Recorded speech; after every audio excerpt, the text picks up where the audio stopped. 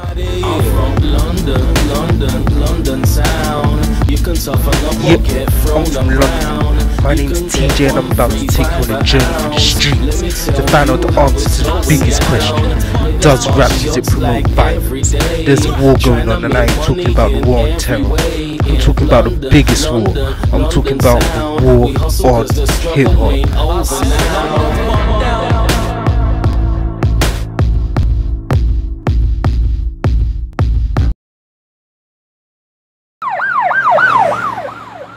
On the media discouraging rap music and talking about how it promotes violence. What are your views on that? I don't think. I think uh, if you can believe that kind of stuff yourself, I don't think it make, makes much of a difference to most people. I think the people who think it, it promotes violence in the first place are going to be more likely to be violent anyway. Uh, you think video games are the, are the This is what I heard on television. That, Okay. uh, the violence in video games are affecting uh, teenagers who are watching them, Okay. and they're going and committing crimes. okay, okay, And definitely. I've heard about this in the past in other countries as well. Alright. So because violence is all over the world and all over the world, not everyone listens to rap music. You think there's other no, no, factors no. that I don't think it's uh, rap music. Uh, rap music. I think it's it's the teenagers who are spending so much of time watching those uh, violent TV games, uh, Mm-hmm. you know, Definitely. and they're being affected by that. Okay. Because all the mind is focused on killing and killing and killing. Definitely. and the mind is so absorbed with the Yeah, killing definitely. and they just get into a fit and they go and do it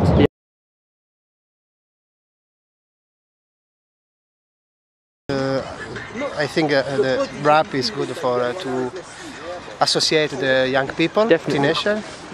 It's a way to you know to to remove the people from you know bad uh, bad situation, Amazing. and I think it will uh, play a, mm, an important role to you know for the communication to to make the people more polite, uh, more educated.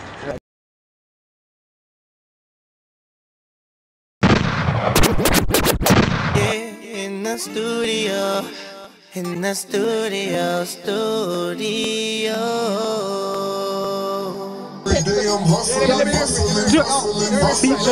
Yeah, I'm here today with my boys from EW at their music studio. As up and coming hip hop artists from London, I wanted to hear what they had to say about the industry they've chosen to be a part of. This is their opinion, their views, their music, their life. This right here, this is EW. Okay, Roll me, my mom's home and she's fat, but I got a stone cold flow, so I'm you. Okay, listen. Oh, hey. Oh. Hey. Oh. Yo. Hey,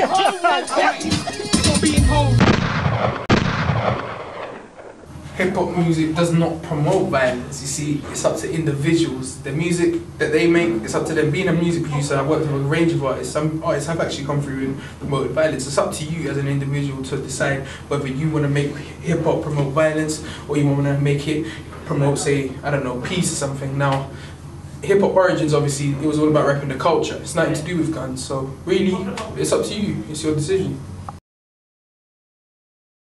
Now, on the rules, I don't think there's any way you can blame this whole grime or hip hop scene for the violence and knife crime in London or whatever. Because statistically, if anything, recent times knife crime and gun crime has decreased within London in these urban communities. You get me?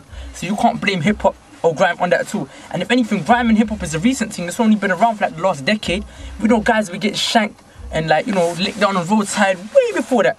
It's all this bullshit that the government's trying to inflict on us. If anything, what you blame this whole crime and deviant situation on is the government. Because if you look at the ecology theory, yeah, is when it talks about how in a city, like as you go further out, like the, cent- the, the center of the city is where all the business is, called the central business district, you get me? And that's where there's no crime, only maybe a little bit of white collar crime, but that's all the posh part where the guys come working to. And as you go out, yeah, that whole area is for the fuckersness where, you know, all this mad shit is going on, guys are joking each other and whatnot, you get me? And as you go further out, you go into the suburbs and crime decreases, and that's the theory in it. But if you look at it, you can blame that on the government because the guys that are in them places together is because the government puts them there. It's these council estates because these people have nowhere else to go. They got poor education, poor discipline, and they all put in the same place together.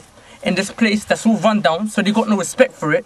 And because they all got this whole deviant nature about themselves, that they come together and they just do this thing, you get me?